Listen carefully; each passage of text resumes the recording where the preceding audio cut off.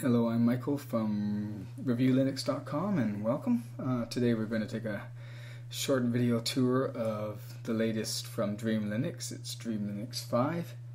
As you can see, it has XFCE window manager, desktop manager, and it's light, it's fast, it's uh, it's a great distribution. I just installed it. Installation was fairly simple, and uh, well, I'm just going to show you around and uh, hope you enjoy it.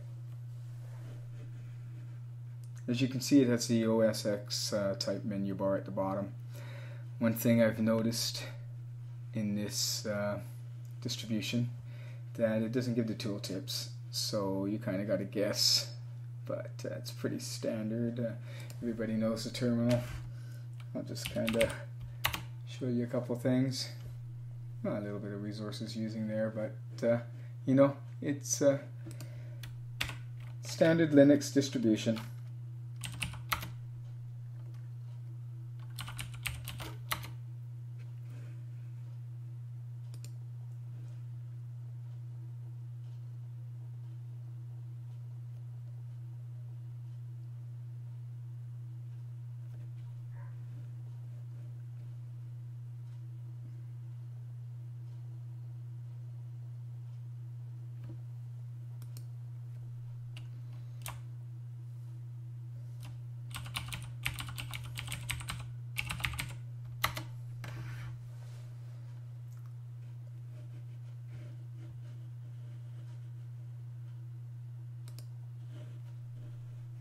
It's got lots of software.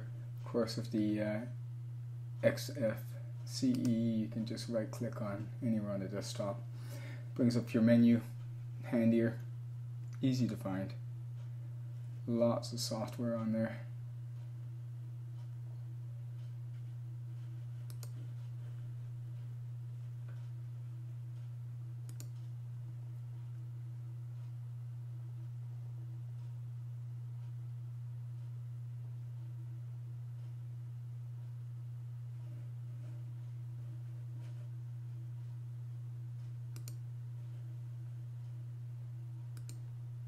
And you got your top left hand menu bar.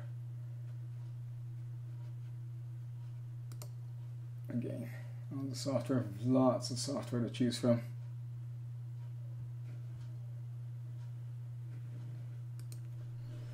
And the button right next to the uh, web browser. Of course, another web browser. And it goes directly to Gmail. I guess that can be handy.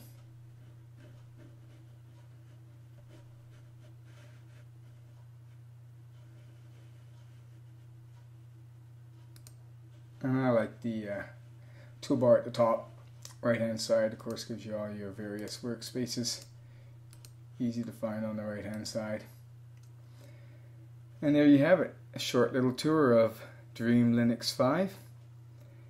Uh, once again, thank you for visiting reviewlinux.com. I'm Michael Perks, and have a good day.